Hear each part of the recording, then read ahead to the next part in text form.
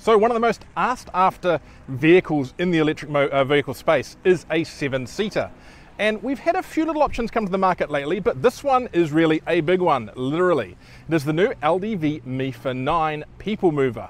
Sitting behind me, it's a uh, seven-seat People Mover, three rows, lots of space, about five and a half meters long, but amazingly, we have an entry level in New Zealand that is starting at just $79,990, and then of course you get just over $8,500 back off that.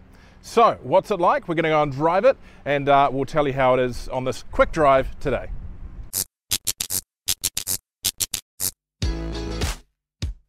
There are three levels of spec for the MIFA 9, starting at 79.90 driveway for the Elite, 99.990 for the Luxury, and 119.990 for the Premium. The Elite carries an already impressive haul of equipment with synthetic leather seats, heat pump based climate control, 18 inch alloys, and an impressive array of safety and driver assists.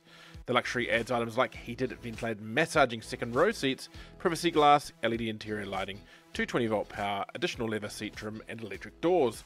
While in the premium, the front row gains massage functions, a premium audio system, heated microfiber steering wheel, and much more. Okay, so getting behind the wheel of the MIFA 9. Now, it is a, you know, what we've seen Tesla do, but a lot of other brands have been slow to do, and that is a keyless, well, there's a key, but you don't use the key or use a button when you get in. Once you jump in and people put their seatbelts on, you can drive away. You've got a little screen in front of you here and a big 12.3 inch screen uh, in the center. I haven't seen this software in an LDV before. It is definitely, and I'll go through it a little bit later, a big step up from what we've seen previously. Now the transmission shifter in this actually takes a little bit of inspiration from uh, Tesla and Mercedes in that it's on a stalk here. So you've got a park button at the end, and otherwise it's just down for drive and up for, for reverse. Uh, you've got this uh, reach and height adjustable steering wheel, so that uh, goes up and down there. The seats on the entry level model are manual, but uh, in this one we've got lovely electric control seats. Uh, really nice design in here. Everything's well placed. You've got big, huge center console, cup holders, lots of storage down here, wireless charging, and uh, USB, of course. Uh, you've got Apple CarPlay on the system here. Uh, someone will confirm this, but I think Android Auto is not here yet, but coming. It's Android Interconnect. Interconnect, so, right. Through QD link. Okay, so slightly different there. So yeah, uh, now let's get this underway for driving. I have had a little drive already, so I do know a little bit about how this drives so far. Um, right. But it is a big vehicle, 3.2 meter wheelbase, uh, closing in on five and a half meters long. So that's that's certainly up there in regards to kind of the size of a big three-row SUV like a Santa Fe or so forth, but with a lot more interior volume. So we have a peak power of 180 kilowatts and 350 newton meters. So even though it's big, it does get away with really good pull. Uh, there was a tiny bit of scrabble from the front wheels there. It is front wheel drive, but otherwise, that's actually pretty darn good performance for a people mover, and certainly it feels quicker than the other petrol and turbo diesel uh, options out there on the market. Um, from what I've found so far, rides very well, does have that lovely big heavy battery planted feeling. And it's really windy today, but I think that that battery weight's helped the van, called a van, it's a people mover, uh, not be pushed offline at all. It's uh, It really does sit pretty well. A little bit of jitter in the ride, but overall not too bad. Uh, initial thoughts on the steering uh, feels nice and solid, not too heavy, not too light, just right. Uh, the lane keeping system feels really good through your hands the audio alerts, which we've now turned off, are not wonderful, but I've been told by the team at LDV that they are recalibrating that very quickly. So I suspect by the time this vehicle gets into uh, users' hands, it will be significantly better from that perspective than what it is now.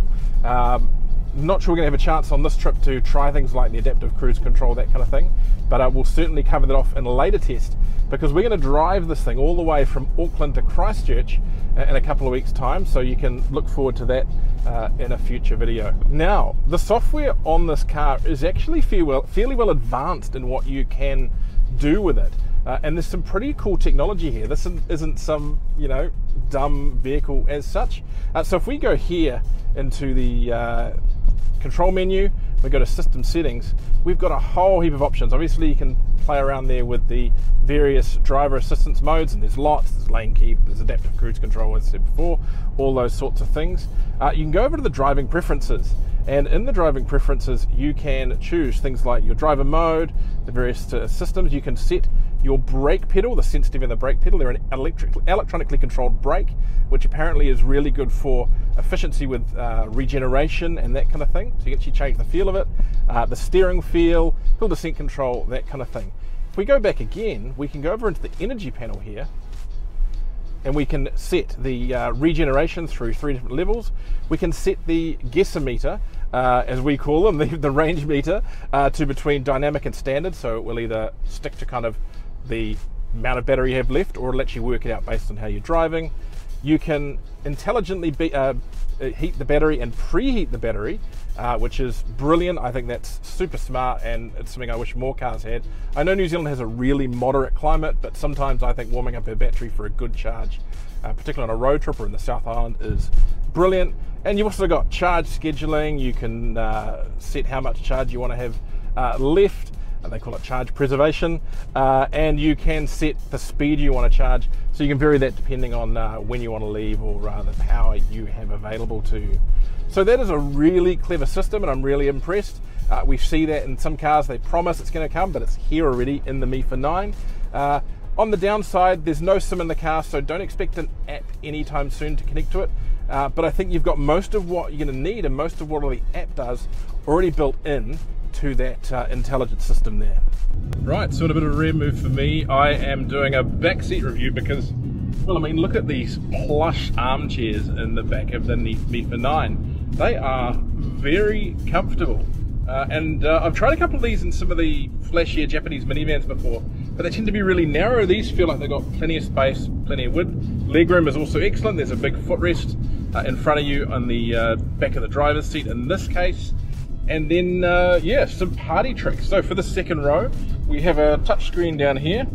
And if I swipe and open that, I can adjust the backrest, forward and back, the headrest as well, put that up and down, which is pretty cool. I can extend, oh, I can slide the seat inwards and backwards.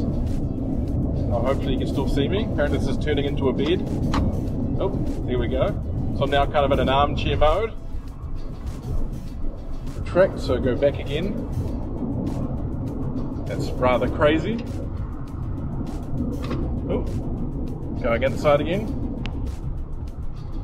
Uh, it's uh, ventilated to three levels. It's heated to three levels. And then you can have a massage. So we've got uh, pulse, waves, catwalk, uh, SGL row, comfort, butterfly, waist, and serpent. Let's go for the catwalk. Oh, oh, that's uh, that's that's pretty darn good. Yep, I, I like that. I like that. So yeah, the back row definitely luxurious, definitely cool. Now I'm not going to jump now on the third row. It does look pretty spacious as well, and obviously you can slide all the seats backwards and forwards to give uh, all the space you need. I'd say the back row is a, a two adults or three children really comfortably row. Um, yeah. Oh, and there's a table. So push the button here, pop this up, and you've got a folding table. Just like being in a private jet. Right, so we've just stopped briefly at Bombay Charge. Let's try the charging. Now, the uh, MIFA can charge on AC at 11 kilowatts and DC at 90 kilowatts. It's not massive for something with this big of a battery, but it's not bad. We've plugged it in uh, at a relatively high setting. I think we're at 79% and it's already gone straight to like 80 kilowatts. So that's pretty decent. CCS2, of course. Uh, the charge port is at the rear there, um, which you maybe describe in the comments whether you like that or not. But uh, yeah, right, we're going to head back to the hotel.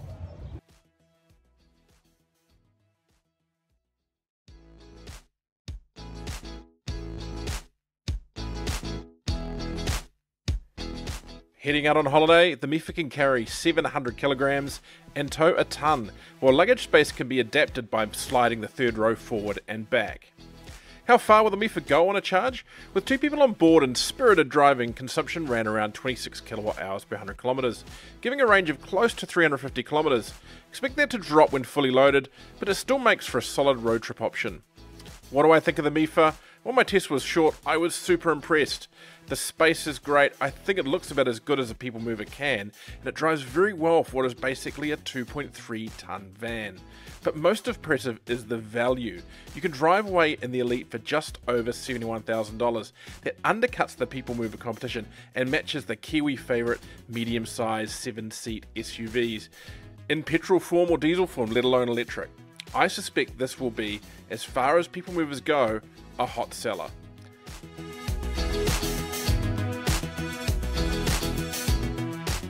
For more detail on the LDV MIFA 9, we've put the link to the specs in the description below. For more great videos on electric vehicles, subscribe to this YouTube channel. And for news, reviews, and more information on electric vehicles in New Zealand and beyond, go to www.evsandbeyond.co.nz.